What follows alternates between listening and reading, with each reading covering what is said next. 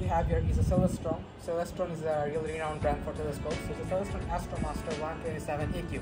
So it's 127 EQ, that is 127 millimeter, and the diameter of this is 4 millimeter. So 4 millimeter, we can, it's not, actually not that big, it's a very much beginner telescope. But since, uh, besides tech, I also like to see uh, the moons and stuff, so I bought this. I was just out of curiosity to test it out. So this here is a red dot sight, as you can see. So the red dot sight is actually used to locate one object you are going pointing. So suppose you want to point the moon, so you need to uh, point the red dot sight onto the moon, and then the telescope will find this automatically.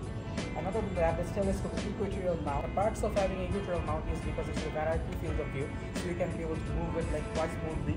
And because, as you guys know, the Earth is spinning, so the planets and stars that actually stay does not stay in the location of the, of the telescope for a long time.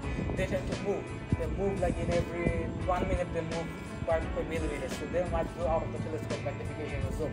So you need the equatorial mount, which really helps you to slowly move and catch up to the planets. As you can see, it's quite movable. So here I'm using the eyepiece is 7mm to 21mm, which is the eyepiece installed here is the brand of SVBONY. And with this eyepiece, we're actually going to be able to see and locate and increase the increase the magnification as we want. So that is pretty much about the telescope. This telescope also has a tray mount here, which is mount your tray and keep your eyepieces. I have several more eyepieces that I have, but I actually didn't bring all of them because this is the primary one that I use.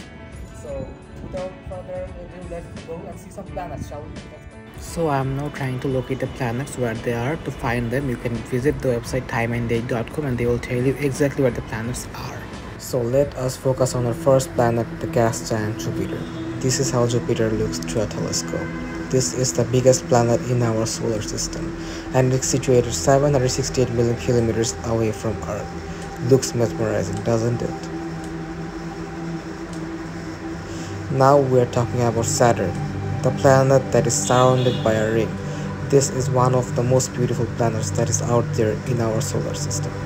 So the ring you can see, we can see the ring very clearly through our telescope and the ring is actually made out of asteroids that surround the planet and this makes it look like a beautiful ring and distance from earth is 1 billion kilometers which is really far away but still this looks like a faint star in the sky beside jupiter and can be found well with the telescope beautiful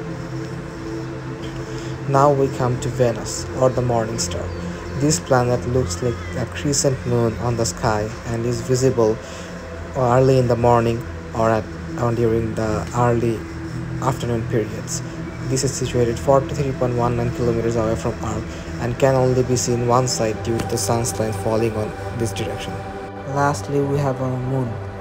So the moon looks incredibly beautiful at night. This shot was taken during the supermoon event 2020 that happened a few days back this month.